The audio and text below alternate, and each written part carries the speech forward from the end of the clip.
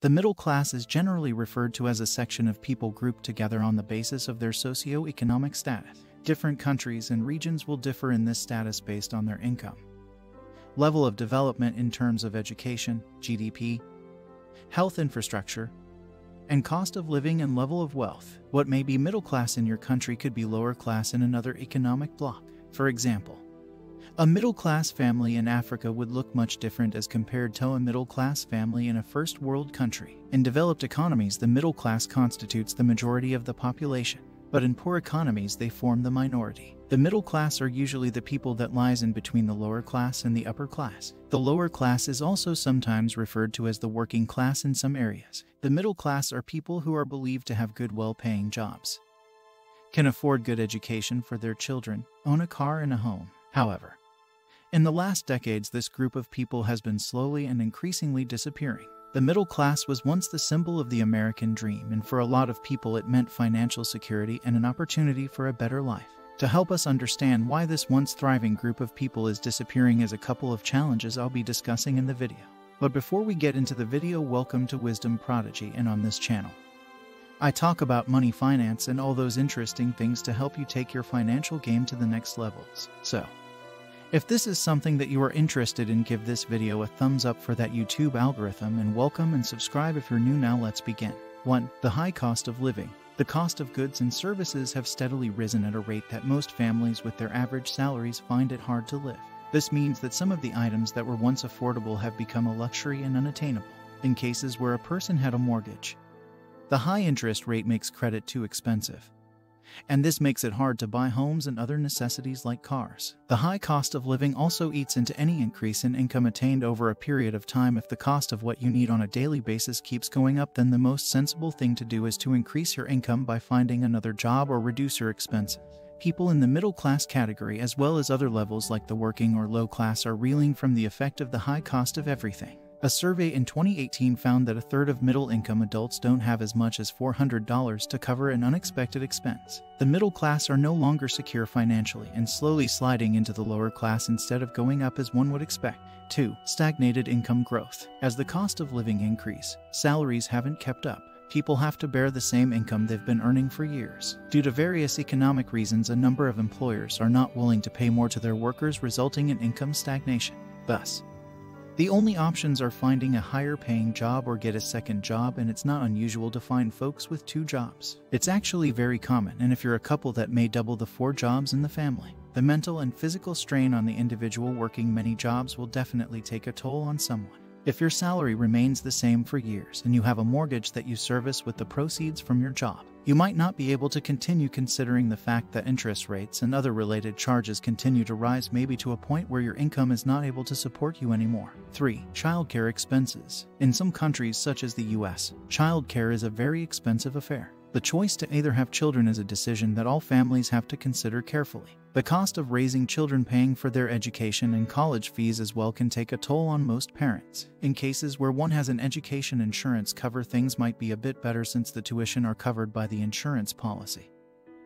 But there are still other expenses like medical nanny fees among others. This has left most people squeezed financially or have the feeling of being thrown into a corner. 4. Decline in employment. As technology advances, there are services that can be done without necessarily using human labor. This is more so in factories and production facilities, where robots or other advanced technologies are used to operate equipment with very little or no human intervention. The resultant scenario is that few jobs are available, and in most cases, the very lucrative ones with higher payments, with low employment opportunities, which mostly affects the low and middle class leads to a life with many challenges. The harsh truth is these people have to struggle financially to make ends meet. 5. Healthcare premiums. Health is an integral part of every human being. And one will occasionally require finances to address any health issues. Taking a health insurance cover is probably the best option to ensure you are covered and won't need to dig deep into your pocket to pay hospital bills. The insurance premiums are, however, very high and sometimes difficult to achieve, especially if you have a large family. The unfortunate thing is that with medical issues, your personal savings might not help much, as bills can get quite exorbitant. The recent global pandemic has shown us just how devastating health costs can be. Most middle class people are left struggling financially in the area of medical and healthcare. 6. Loans and credit. when the time comes to make a big purchase in life. Maybe a house or car you may not always have the full amount to purchase it.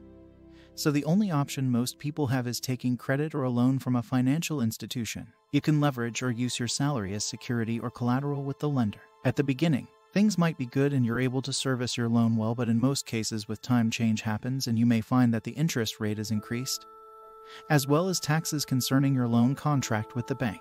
Most middle class people find themselves in this situation and it becomes a real financial struggle to get out of it. 7. Job security. Let's face it, it's very rare to find job security, especially in the private sector. Maybe working for the government can sometimes give an employee a sense of security, but not so for the majority of people. For example, during the recent pandemic that hit the world, so many people lost their jobs because most organizations were shut down. This actually happened in a very short span of time, and many people had not prepared for such eventualities. A number of people found themselves in very awkward situations and unemployed. Many organizations decided to shut down, downsize, or change to something else, and there are many middle class people who have fallen into this situation leading to financial distress. 8. Lack of policies. Policies that address the welfare of citizens can be implemented in form of guidelines to address the financial struggle affecting the middle class. Bank interest rates. Withholding tax and other regulations can be tailored to support people to ensure there's no undue exploitation. Subsidies on healthcare insurance can come in handy to reduce the high premiums charged currently. Proper analysis of all the factors affecting the middle class can be done and corrective actions implemented to reduce the squeeze the middle class can find themselves in. Policy should cover education, health, childcare, financial institutions, and employment, to name a few. The policy guidelines should be done in view of managing the welfare of the middle class, which might also trickle down to the lower class. Lack of good policies, which is common in most countries worldwide, leads to an unhealthy environment which deters the citizens from thriving economically. Policies must be well understood. And people need to be trained and made aware of the same to ensure proper implementation and adaptation. 9. Overborrowing and overspending. There will always be that person who loves overborrowing and overspending in any given society or grouping. Sometimes to make ends meet and maintain a specific status, a person may borrow without a proper plan and end up losing everything. Some will borrow to show their peers they have money for the sake of clout. This is a dangerous trend financially, which is practiced by many middle class people to their woes. Borrowing is not bad unless it is misused. Only borrow what you've budgeted for and what you can comfortably pay. It is wiser to borrow for items that will appreciate, like homes, houses, and other properties. When it comes to spending your money, plan for it before you spend it so that you can cover your needs first. Any balance should be saved in an interest earning account. When you overspend on things you don't need and in a wasteful manner, you say bye to your hard earned cash before it has benefited you. This can lead you into a financial hole. As a middle class person, that you will find hard to come out of. You can decide to be practical and buy only what works for you without having to spend too much. On the other hand, save as much as you can to ensure you're financially healthy and you don't have to borrow unnecessarily.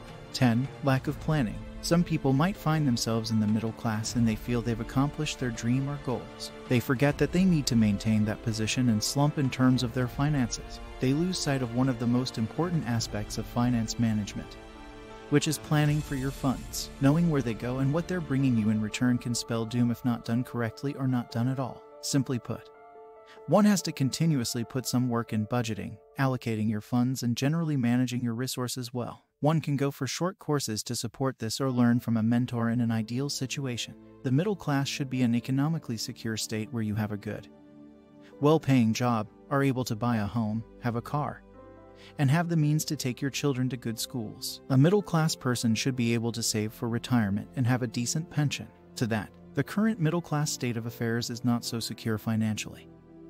And this is mainly due to economic changes all over the world, the high cost of living, and job insecurity, high childcare expenses, premiums for health insurance, wage, Stagnation, rising school education costs are causing the middle class to either stagnate or fall backwards in their finances. If you're part of the middle class and are wondering where your money's been going to, then now you know. Thanks for watching and watch more of our videos if you want to understand more about money. Have a lovely day and see you in the next one.